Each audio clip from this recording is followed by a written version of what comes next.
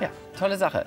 Mein Gast heute ist immer in Action. Das braucht sie für ihr Wohlbefinden. Und dass ihr das gut tut, das sieht man ihr an. Schauspielerin Waltraud Haas ist hier auf dem roten Sofa. Herzlich willkommen. Guten Abend. Frau Haas, ich weiß es noch, als wäre es heute gewesen. Vor zehn Jahren waren Sie schon mal hier bei mir auf dem roten Sofa. Und da haben Sie Marika Röck perfekt imitiert. Sie haben gesungen. Können Sie diesen, diesen Akzent immer noch? Ja, ich war sehr befreundet mit ihr. Dadurch ist mir das eigentlich im Kopf gewesen und ihr habt gesagt, ich soll so ein bisschen nachmachen. Es muss irgendein Jubiläum von ihr gewesen sein. Und ich habe mich auf eine kleine Treppe gestellt und habe angefangen, ich brauche keine Millionen, mir fehlt kein Pfennig zum Glück, ich brauche weiter nicht als nur Musik, Musik, Musik. Und, äh, und das war so lustig. Und ich bin dann nach Hause gefahren, nach Wien, bekomme einen Anruf von ihrer Tochter, von der Gabi, und sie hat gesagt, also eins muss ich dir sagen, mir hat fast der Schlag getroffen. Meine Mutter stand vor mir. Also ich wusste dann, was in Ordnung. Herrlich, herrlich. Das geht schon gut los. Und jetzt können Sie sich erstmal freuen auf herrliche Szenen aus dem reichhaltigen Rollenrepertoire dieser legendären Schauspielerin. Judith Strunk hat aus dem Vollen geschöpft. Frau Haas, wenn Sie so im Schnelldurchlauf äh, Ihr so bewegtes Leben mit all den Filmen, mit all dem, was Sie gemacht haben, all den Theaterrollen, wenn Sie das sehen, kommen da Emotionen hoch? Ja, aber ich glaube es eigentlich nicht. Ich weiß gar nicht, wann ist das alles passiert. Frau Haas, entschuldigen Sie, ich höre gerade was auf dem Ohr. Entschuldigen, ja, bevor bitte. wir weiterreden, ich bekomme gerade gesagt, in diesem Moment, in diesen Minuten tut sich ganz Erstaunliches in Berlin. Und das hat jetzt absolute Priorität. Wir schalten live in die Pressekonferenz des Zentralkomitees der SED. Ja, dieser Zeitsprung hat sie jetzt wahrscheinlich irritiert, aber es war wirklich genau 18.53 Uhr, als Günter Schabowski heute vor 25 Jahren diese Sätze verkündet hat und damit den Fall der Mauer einleitete. Eine gute Stunde später war die historische Pressekonferenz auch Aufmacher in den Nachrichten in Ost- und Westdeutschland. Waltraud Haas ist mein Gast. Frau Haas, an, an, den Mauerfall, da können sich ja viele von uns erinnern. Aber Sie gehören zu der Generation, die sich noch an den Mauerbau genau erinnern kann. Ja, weil ich zufälligerweise damals einen Film gedreht habe in Berlin. Und zwar, der hieß Jede Nacht in einem anderen Bett. Und einer meiner Partner war Harald Junke. Mhm. Und plötzlich, wir saßen zusammen in einer Drehpause, springt er auf und sagt, hast du es gehört? Es wird gerne eine Mauer gebaut, eine Mauer. Ich muss sofort schauen, was da los ist. Es sollen angeblich, die Panzer sollen auffahren und meine Frau ist dort und mein Kind. Gott, er ist weggelaufen. Ja, ja, war ganz aufgeregt. Er ist dann weggelaufen und, und ist, ich meine, er ist dann wieder gekommen, aber er hat, man hat ihn beruhigt, das war nicht so arg, aber er hat das alles so dramatisch gesehen. Mhm. Kam Ihnen das die Sibyl Werden war das, die Tänzerin, ja. war seine Frau damals. Und kam, kam Ihnen das denn auch äh, äh gespenstisch na, vor, waren, dass da plötzlich so eine Mauer entst ja, entstand? Ja, wir waren fassungslos, wir haben gesagt, was soll das, was ist das? Also... Mhm. Sie sind ja, äh, haben ja den Krieg auch ganz bewusst erlebt. Äh, was sind so herausragende Erinnerungen an die Kriegszeit und an die erste Zeit nach dem Krieg? Ja, dass ich meinen ersten Film damals gedreht habe, das Mariando, mit dem ich ja eigentlich groß geworden bin. Äh, und dass damals die Russen da waren in der Wachau. Mhm. Und sie haben uns nichts gemacht. Man hat sie auch nicht gesehen. Mhm. Aber sie haben aufgepasst. Wenn einer etwas Negatives sagt, war er schon geschnappt. Mhm. Und, und, da war einmal, ich weiß nicht, ob ich so viel Zeit habe, das zu erzählen, Doch, erzählen aber es war sehr aufregend. Ich musste damals mit Maria Andergast, sie war meine Mutter in dem Film, in einem Hotel im Zimmer schlafen, aus Sicherheitsgründen. Und äh, Paul Hörbiger, der immer ein bisschen viel getrunken hat, der hat ein Lied gesungen am Abend. Und das war, der, der Schluss war, und der Krampus und der Nicolo sind zusammen nach Russland gegangen, sind bis heute noch nicht da. Und die Leute haben alle furchtbar gelacht. Mhm. Die Russen haben gesagt, Russland lachen, die lachen uns aus. So. Und in der Nacht mhm. ging es los. Wir haben zusammen, ich habe zusammen mit ihr in einem Bett geschlafen und plötzlich klopft es ein österreichischer Polizist und ein Russe. Machen Sie bitte sofort auf. Und leider sagte die Frau Andergast, das ist doch eine Schweinerei. Und das Wort Schwein verstand der Russe. Aufmachen, sofort. Sie haben sie verhaftet. Ach du meine Güte. Und ich, ich habe nicht gewusst, was ich machen soll. Und ich bin zum Fenster und habe sie gesehen in einem Jeep sitzen und mit solchen Lammstablampen wurde sie beleuchtet. Sie soll doch zugeben, dass sie gesagt hat, Schweinerei. Schweine, die Russen sind Schweine. Nein, nein, nein. Plötzlich fällt mir ein, unser Produzent hat einen Schrieb von der Kommandantura, dass wir Artistas sind, unter ihrem Schutz stehen. Den Brief wollte ich haben. Jetzt bin ich heimlich runtergeschlichen, habe mich im Schatten an der Mauer entlang geschlichen. Der hat im Nachbarhotel gewohnt. Mhm. Im letzten Moment habe ich diesen Brief gehabt. Der Jeep fuhr schon raus und ich. Und er sagt, Meine es wird ein Nachspiel haben. Ich kriege jetzt noch Gänsehaut, die Schnürsen. Gott. Und dann hat sie, das hat, sie haben sie dann freigelassen, haben gesagt, es wird ein Nachspiel haben. Ist aber nichts passiert dann mehr, nicht? Aber ich weiß nicht, was passiert hätte werden können, wenn man sie erwischt hätte und sie, ich hätte ihnen, ihr nicht geholfen. Möglicherweise haben sie ihr Leben gerettet, ne? Vielleicht, ja. Mann, das sind Geschichten. Ja, ja. ja. Also das war eigentlich meine schlimmste Ruse. Aber sonst, man hat sie ja nicht gesehen. Sie mhm. haben uns in Ruhe arbeiten lassen. Mhm. Äh, Frau Haas, waren Sie schon, äh, schon mal äh, an der Ostseeküste in Mecklenburg-Vorpommern, Kühlungsborn? Haben Sie da mal? Nein. Kennen Sie nicht? Sollten Sie mal hinfahren. Kühlungsborn ist ja äh, auch in, in, ähm, also in Mecklenburg-Vorpommern war ja auch schon zu DDR-Zeiten ein sehr beliebtes Touristenziel. Für manch einen war aber der Strand von Kühlungsborn auch ein schicksalhafter Ort. Mhm. 38 Menschen haben nämlich versucht, von dort aus in den Westen zu fliehen und nur 15 von ihnen ist die Flucht über die Ostsee gelungen. Zum 25. 50. Jahrestag der Wiedervereinigung hat Andreas Moll frühere Flüchtlinge und einen früheren Grenzsoldaten am Originalschauplatz getroffen. Das sind Bilder. Waltraud Haas, Sie sind, äh, eigentlich haben Sie ja keine Zeit, habe ich am Anfang schon gesagt, denn Sie sind ja schon wieder im Stress, weil am 27. November ist Premiere der Fußballkönig in Bad Godesberg. Wie weit sind Sie denn mit dem Textlernen? Bitte erinnern Sie mich nicht daran. Wenn ich jetzt wüsste im Moment, wie hieß der erste Satz im dritten Akt? Keine Ahnung. Aber wenn Sie dann da stehen auf der Bühne, Wenn ich dann, dann stehe dann und die Kollegen sind reizend, die helfen mir alle. Vor allem mein Kollege, der ja den Heinz Erhardt spielt. Sie müssen kurz erzählen, worum geht es denn? was ist das für ein Stück, der Fußballkönig? Naja, das ist eigentlich nach einem Film. Der Film hat aber anders geheißen, da weiß ich jetzt nicht mehr genau, wie der geheißen hat. Oder Der Wille wird schon schaffen oder sowas ähnlich. Ein Heinz Erhardt-Film. Ja. Und nach dem ist er gemacht. Und der Schauspieler Thorsten Hamer, der spielt den Willi Willi Winzig heißt Willi Winzig, ja. genau. Und der ist so köstlich. Also wir lachen den ganzen ab. Es ist wirklich großartig. Und Sie sind die Schwester? Sie spielen die Schwester von Willi Winzig? Schwester und er hat einen Fußball, er ist ein Fußballverein, aber soll nun 50.000 Euro bezahlen, weil aus dem Fußball soll, Fußballplatz soll etwa eine, eine Abstell für, für Autos gemacht werden und das will er nicht. Und, so. und da erinnert er sich, dass eine Tante hat in Amerika oder eine Schwester und die hat ihm versprochen, wenn seine Tochter heiratet, dann bekommt sie das Geld. Und da, da organisiert, die will gar nicht heiraten, da organisiert er ungeheure Dinge. Und er hat geklärt, plötzlich die Tochter, ich komme aber und bringt das Geld persönlich. Und jetzt geht der Wirbel los natürlich. Klingt sehr lustig. Und ich meine, Sie können das ja, äh, für Sie muss das ja besonders als Erlebnis sein, weil Sie ja den echten Heinz Erhardt kannten. Sie haben ja sogar zusammen gedreht. Ich habe mit ihm einen Film gedreht, ja. Und zwar hieß der immer die Radfahrer. Und da war auch der Kuli dabei. Und beide waren ausgezeichnete Komödianten. Und wer von beiden hat sich in Sie verliebt?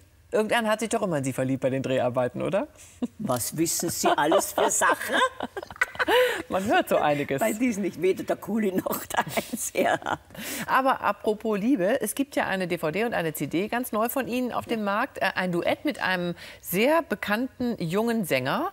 Äh, Rudi Giovannini. Rudi Giovannini heißt er, genau. Man nennt ihn auch den Caruso der Berge. Ja. Wie kam es denn dazu? Dieses Glücksgefühl heißt das Lied. Ja, mein Manager Thorsten Kroneberg hat also erklärt, äh, ich erfinde, dass der ein wirklich guter Sänger ist und der würde vielleicht zu dir passen.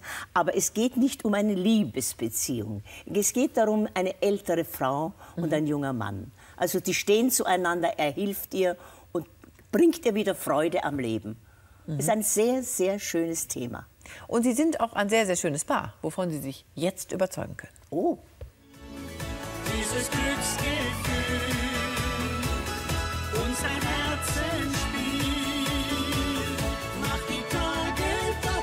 schön, wenn zwei sich sehen und gut verstehen.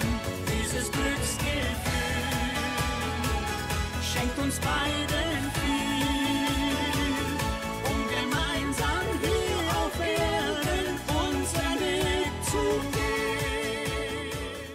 Also, ergänzt sich perfekt, oder? Sie verstehen sich wahrscheinlich auch so ja, nein, hinter wir den haben uns sehr, sehr gut verstanden. Und Sie haben mir gerade gesagt, das ist in der Wachau. Gedreht und in der worden, Wachau ja. sind Sie ja auch nächsten Sommer wieder auf ja. der Bühne beim Wachauer Jedermann. Und da ist ein anderer junger Mann an Ihrer Seite, nämlich Ihr Sohn. Der führt Regie. Wie streng ist er denn mit Ihnen? Mein, er führt nicht nur Regie, sondern er ist auch Intendant. Also ja. Und äh, wie, wie, Er ist sehr streng. Er ist streng. Ja, er ist streng. Er passt auf alles ganz genau auf, aber es ist richtig so. Denn ich brauche schon manchmal eine Hand. Nachdem ich keinen Mann mehr habe, Stimmt, da ist es gut, dass Ihr Sohn dann an Ihrer übernimmt Seite mein Sohn ist. das Regiment. Wie, was ist Ihr Geheimnis? Äh, Wie machen Sie das so auszusehen? Ich habe das Gefühl, die sehen genauso aus wie vor zehn Jahren. Da hat sich nichts getan. Aber Sie auch? Äh, na, ich finde nicht. Wenn ich mir Fotos von mir angucke, dann finde ich das nicht. Na, wir haben uns gesehen vor zehn Jahren. Das ist ein, ein Gesicht. Aber ich bin eine andere Generation. Ich meine, das ist wirklich äh, eine Seltenheit, dass jemand Ja, in ich Ihrem glaube, Alter noch so fit Ich glaube, ist. es ist doch, weil ich etwas mache. Ich habe mein bestimmtes Tempo. Und zwar in der Früh stehe ich auf um halb sieben in der Früh. Und dann fange ich an zu turnen. Und ich turne, ich kann ja noch mit den Händen bis hinunterkommen. Bis Nein, hinunter, ja. so spontan. Aber weil ich das jeden Tag mache. Und dann äh, gehe ich eine halbe Stunde mit dem Hund spazieren, bei jedem Wetter. Und dann erst wird gefrühstückt. Und das ist mein Rhythmus. Ja, Darum wache ich jetzt auch hier schon um halb sieben auf und das möchte ich gar nicht. Ich möchte Ja. weiter schlafen, aber es geht nicht. Offensichtlich, ja, es ist aber offensichtlich eine gute Idee. So, in den Nachkriegsjahren, die Waltraud Haas erlebt hat, waren ja vor allem die Filme Straßenfeger, bei denen sich alles um die Liebe drehte. So wie bei eben vielen Filmen, in denen Waltraud Haas mitgespielt hat. Elena Thayeris hat die schönsten Schauspielpaare dieser Zeit mal rausgesucht und mal unter die Lupe genommen, was so ein Traumpaar von damals eigentlich ausmacht. D- Aus, genau aus diesem Grunde haben wir uns auch auf den Wolfgangsee begeben. Ja? In einem Na, feuerroten Drehboot. Was würden Sie denn sagen, Frau Haas? Sie haben mit so vielen großen Schauspielern zusammengespielt. Äh, Was macht ein Filmtraumpaar aus? Was muss stimmen? Was muss passen? Was muss stimmen? Eigentlich, es hat nichts mit dem Filmpaar, zu- eigentlich auch wie bei privaten Paaren. Das muss stimmen, das Herz. Das heißt, das spürt man auch wahrscheinlich Ja, gleich. Mit dem kann ich das spielen und mit dem anderen Ja, geht es nicht. ja. Wie war es mit, mit Jopi? Wir kommen natürlich auf Peter Alexander im, im Einzelnen zu sprechen. Wie war es mit Jopi Hesters? Mit ihm haben Sie auch hatten Sie auch zu tun. Waren Mit Sie nicht? Jobi habe ich drei Filme auch Ja. gedreht. Und äh, das war, also ich war ja verliebt in den Jopi als junges Mädchen. Gott, ich stand vorm Hotel, wenn ich ihn nur einmal erblicken konnte. Ja, und dann kam plötzlich ein Anruf, da war ich schon Schauspielerin, ganz Anfängerin. Ich kam herein ins Büro, klopfte, hörte plötzlich nur herein. Da hieß das. Mir ist gleich das Herz in die Hose gefallen. Bin reingekommen und er sagt, ja, wir wollten Sie gern für eine, der Produzent für eine Rolle in dem Film Tanz ins Glück. Und da war plötzlich saß da der Robert Stolz beim Klavier. Wir möchten gerne, dass Sie uns ein bisschen was vorsingen. Ich habe so zu zittern angefangen und plötzlich habe ich halt gesungen, guter Mond, schau uns nicht zu. Also war furchtbar. Und Hesters machte nur. Und er sagt, nein, nein, lass nur, das, das, die hat Angst vor dir, weil du so böse schaust. Lass nur, die kriegen wir schon hin, die Kleine. Und dann habe ich also die, die Rolle doch bekommen. Weil Robert Stolz mir geholfen. Das war ein entzückender Mann. Sie können so toll erzählen. Wie war das denn mit Peter Alexander? Die erste Begegnung, wissen Sie das noch? Sie waren ja wirklich das auf dem Traumpaar. Theater, auf dem Theater, auf dem Theater. Also wenn ich da anfange zu erzählen, da, da, da sind wir noch zehn Stunden unterwegs. Das kann ich nicht, weil am Anfang war es gar nicht so sehr gut. Mhm. Weil er hat ein bisschen, hat ein bisschen angegeben am Anfang, wer er ist und so weiter. Und das geht bei mir nicht. Bei mir ist Kameradschaft, aber dann habe ich ihn dann schon mir geholt. Und wir haben eine wunderbare Szene aus dem Weißen Rössel, Ja? nämlich äh, diese Kussszene. Also das ist, äh, da schmilzt man dahin. So süß. Ja, also da ist was passiert damals bei den Dreharbeiten. Er war eigentlich immer gehemmt. Vor allem, wenn seine Hilde im Studio war. Und die war immer im Studio. Und er, aber er, er war so steif. Er hat, er, irgendwie hat er gedacht, um Gottes Willen, die wird doch nicht glauben, dass ich mich in die Haas verliebt habe. Jedenfalls, es klappte nicht. Und da sagte der Regisseur Werner Jacobs damals, Peter, bitte, warte. Hilde, sei so lieb, geh im Moment nur hinaus, ja? Hilde ging und plötzlich hat er mich geschnappt und geküsst, wie wenn er schon tagelang drauf gewartet hätte. Das war so komisch. Also er hat vor ihr Angst gehabt. Er hat Angst gehabt, vielleicht dass sie glaubt, er hätte sich in mich verliebt. Nicht? Ja, ja, klar. Eifersucht, ne? So komisch war das damals. Ist da eine Lebensfreundschaft draus geworden mit dem Peter Alexander? Ja, also er ist ja eigentlich eher ein Zurück. äh, Ich habe äh, mit ihm eine ganz, ganz, nicht mit ihm erlebt, aber bei seinem Begräbnis, was da war. Darf ich das noch erzählen? Ja, natürlich. Er hat gesagt, er will nichts. Er will keine Leute haben, er will nichts haben, er will überhaupt kein Begräbnis, hat er äh, angekündigt. Und ich habe gesagt, nein, ich lasse mir das nicht nehmen, ich gehe hin. Und da waren Menschenmassen und auch das Fernsehen war da. Und ich habe mir gedacht, nein, da gehe ich lieber wieder. Und plötzlich sieht mich ein Kameramann und macht plötzlich so. Soll hinten drauf kommen, dass ich mich nicht anstellen muss. Und ich komme hinein in die Aufbahrungshalle, das wunderschöne Bild von Peter, die Blumen. Und plötzlich kam das alles wieder. Mein Gott, wir haben doch schon so lange zusammen gespielt. Und jetzt bist du da in dem Sarg. Und ich war irgendwie so, so betroffen. Und plötzlich spüre ich zwei Arme. Ich war allein, ich war ganz allein in dem Raum. Zwei Arme, die sich um mich legen. Ich bin im Moment erstarrt und höre nur eine Stimme. Bleiben uns Sie wenigstens noch lange erhalten. Ich drehe mich um, war eine ältere Dame, die schnell verschwunden ist. Also das war, ich krieg wirklich jetzt. Aber da kriege ich aber auch eine Gänsehaut, Frau Haas. Ist das nicht merkwürdig? Ja, also das ist ja eine Geschichte. Da muss ich jetzt aber erst mal kurz schlucken. Ja, ich habe auch geschluckt. Ja. So, wir bleiben noch ein bisschen hier. Also ich könnte hier stundenlang mit Ihnen über den See fahren. Wir haben einfach gesagt, wir trampeln nicht, wir tun nur so. Ähm, jetzt haben wir erstmal zwei Extremsportler im Gegensatz zu uns, für Sie. Jede Menge Hollywood-Prominenz und ein Bäuchlein. Ganz genau, das Bäuchlein. Die spielen jetzt die Hauptrollen bei Das Zap mit Manfred Studer. Waltraud Haas, äh, man hat sie ja die äh, österreichische Antwort auf Doris Day genannt. Und äh, es heißt, Errol Flynn hätte sie mitgenommen. Der hätte sie, hat sie gewollt, aber sie wollten nicht. Was war da los? Mitgenommen, wie meinen Sie mitgenommen? Naja, der wollte sie, der fand sie toll als ja, Schauspielerin. schon, ich meine, der hätte alle, glaube ich, das war, der war ja auf jedes Frau, war der verrückt. Aber bei mir ging das nicht so ohne weiteres. Und er, dann plötzlich hat er erklärt, hat er mich vorgestellt bei einer Gruppe, The Next Mrs. Flynn. Ich sage, Moment, halt. Also, das war dann schon The Next Mrs. Flynn. Aber er war, ein, ein, ich muss sagen, ein ausgezeichneter Regisseur. Und er, hat, äh, er war der Erste am Team. Und er war der Erste auch, der sofort sein Coca-Cola bestellt hat. Allerdings war dann das, das Glas so, so viel Coca-Cola und so wenig, äh, so viel, so viel Rum und so wenig Coca-Cola. Oha. Aber er hat, man hat nie gemerkt, dass er irgendeinen ein bisschen Schwips hat. Er war ein ganz, ganz toller Schauspieler, muss ich sagen. Und es hat mir leid, dass er den Film nicht zu Ende drehen konnte. Ein toller Schauspieler war auch Ihr Mann. Wir haben Ja. ihn schon äh, kurz erwähnt. Und es ist Ihnen ja sogar gelungen, in einem Film äh, ihn zu überrumpeln. Und zwar als biedere Beamtin. Und das gucken wir uns jetzt mal an. In dem Film haben wir geheiratet. Happy End am Wolfgangsee. Deswegen sind wir ja auch am Wolfgangsee. ja. Wie war das mit Ihrem Mann zu spielen? War das besonders schön oder besonders schwierig? Wunderbar, weil er auch Regie gemacht hat, immer. Meistens. Nicht beim Film, aber wenn wir Theater gespielt haben, hat er immer inszeniert. Und Sie haben eine lange Wegstrecke äh, miteinander verbracht. 45 Jahre waren wir verheiratet. Wie wie ist das dann für Sie gewesen? Ich meine, da, da muss man sehr viel Kraft aufbringen und sehr viel, sehr viel mm, Energie, um zu sagen, ich mache weiter, ich schaffe das. Äh, auch Ich ohne glaube, wenn Mann. ich meinen Sohn nicht gehabt hätte, hätte ich nicht mehr leben wollen. Nicht mehr. Aber dann kam wieder ein Regisseur, der gesagt hat, du musst wieder auf die Bühne gehen. Glaub mir, wenn du auf der Bühne bist, dann lebst du auch wieder. Und so war es auch. Und dann habe ich gesagt, wie soll ich, das sollte ein Stück spielen, das mein Mann inszenieren sollte. Und dann habe ich gesagt, das geht ja gar nicht, mein Mann lebt ja nicht mehr. Dann wird es dein Sohn inszenieren. Und er hat es dann inszeniert, das, was eigentlich für ihn geplant war, für meinen Mann.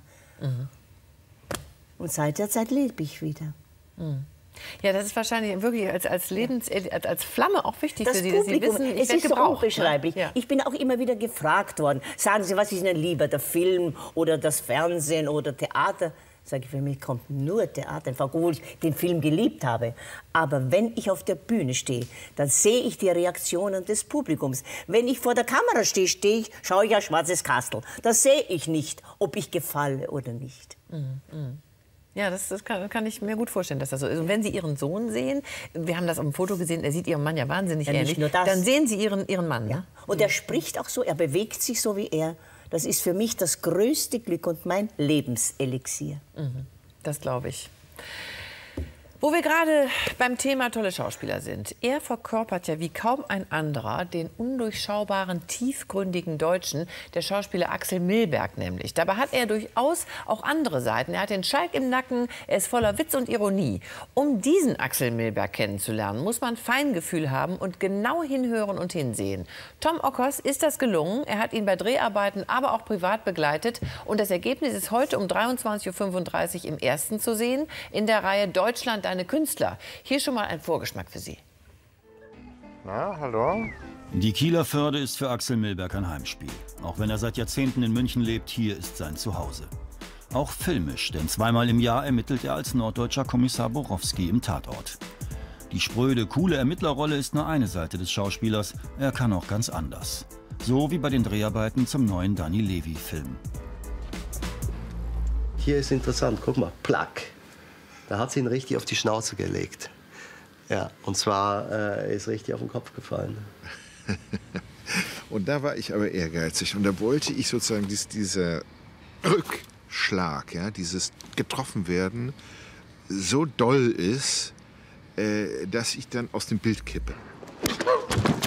Axel Milberg spielt mit aller Leidenschaft. Grenzen kennt er nicht in seinem Beruf, egal wie schmerzhaft das für ihn ist. Alles heil? Ja, alles okay. Er ist erschrocken, aber dann keine Wehleidigkeit. Nee, da hat er weitergemacht. Da hat er dann gespürt, ist okay, mache ich weiter. Leichen säumten seinen Weg, machten ihn zum Star. Der Tatort hat ihn bekannt gemacht, doch sein Erfolg stammt aus seiner speziellen Mischung aus Intuition und Intelligenz. Intelligent ist gut, intellektuell ist scheiße. Milberg spielt zwar einen Tatortkommissar, in den meisten Spielfilmen steht er aber auf der anderen Seite. Als Vergewaltiger, Mörder oder auch Hexenmeister. Ich glaube, du kannst das nicht erkennen. Ob jemand zaubern kannst und jetzt verschwinde. Milberg liebt Kinder. Wenn ihnen Unrecht geschieht, leidet er selbst darunter. Das Böse beschäftigt ihn. Wenn ein Vater seinen Sohn im Spielzeugladen anschreit, fühlt er sich selbst angegriffen. Leg das da wieder ins Regal. Leg das zurück. Wir haben eine Abmachung. Ich gehe mit dir hier nur rein, wenn du nichts anfasst. Und dieses Kind vollkommen schockiert den Vater nur so anschaut und so weiter, wo ich mich frage, wieso geht ein Vater mit seinem Kind in ein Spielzeuggeschäft, wenn der nichts anfassen darf? Axel Milbergs jüngster Sohn August wird eine solche Situation mit seinem Vater wohl nicht erleben. Er bekommt eher zu viel als zu wenig. Er kann ihm nichts abschlagen. Das ist vollkommen irre. Er ist wie Wachs in, den, in Augusts Händen. Wahrscheinlich liegt es einfach daran, dass dieser Mann im tiefsten Herzen bis heute selbst ein Kind geblieben ist. Ja, herrlich, ne? Ja, sehr gut, so eine super. Komik. Ich Sie mag sind, ihn sehr auch als Couch. ja, haben Sie gerade schon gesagt, Ja, ja. also Sie sind, auch- sind auch Fan. Ne? Sie, wie ist es eigentlich, wenn, wenn Sie mit jungen Schauspielern zusammenarbeiten? Da ist doch wahrscheinlich erstmal ein ganz großer Respekt, oder? Haben nicht viele erstmal Hemmungen, überhaupt mit der großen Waltraud Haas da ihr- Ihnen Ja, gegenüberzutreten? ich zeige Ihnen keine große Waltraud Haas. Ich bin von Anfang an Kameradin, Kollegin. Ich glaube nicht. Es hat noch bestimmt nie, vielleicht, vielleicht, ich weiß es nicht, aber ich habe immer sofort Kontakt gehabt mit allen Guten und bin auch froh, weil es, es arbeitet sich ja leichter, wenn man positiv denkt. Und ich könnte mir vorstellen, Sie, wenn man mit Ihnen äh, arbeitet, gibt es auch immer was zu lachen, oder? Sie erzählen Ich- doch ich- wahrscheinlich auch am, ich am muss Set. Immer allen Leuten Geschichten erzählen, denn ich habe ein langes Leben gehabt und habe dadurch auch sehr, sehr viel erlebt. Auch komische Geschichten natürlich. Ja, also es könnte hier noch stundenlang so weitergehen. Ich äh, möchte meinen Zuschauern natürlich nicht vorenthalten, was sie morgen erwartet. Mor morgen freue ich mich nämlich auf eine andere Filmlegende. Frau Haas, Frage, wenn das jetzt vorbei ist, ist in Bad Godesberg, dann ist das nächste Projekt ja in Wien. Wie, haben Sie dann, gönnen Sie sich ein bisschen Pause oder geht das nahtlos ineinander über? Nein, da habe ich dann schon das nächste. In diesem Gloria-Theater, der, der Kollege, der mir geholfen hat, wieder auf die Bühne zu kommen, hat gesagt, du musst wieder spielen. Und Er hat ein Stück entdeckt, der hat gesagt, das musst du spielen. Da werden die Proben beginnen im, also bis Februar spiele ich hier und im März beginnen die Proben dann wieder in Wien im Theater und dann im, dann beginnen ja die Proben wieder vom, vom Jedermann. Für den Jedermann. Das heißt, Also, also, es ist gar nahtlos gehe ich über. immer so weiter. Bleiben Sie so Gott fit. sei Dank, vielleicht erhält mich das, Ja, ich sage aber nicht jung. Nicht erst in zehn Jahren. Nächstes Mal nicht erst in zehn Jahren. Waltraud Haas. Vielen Dank.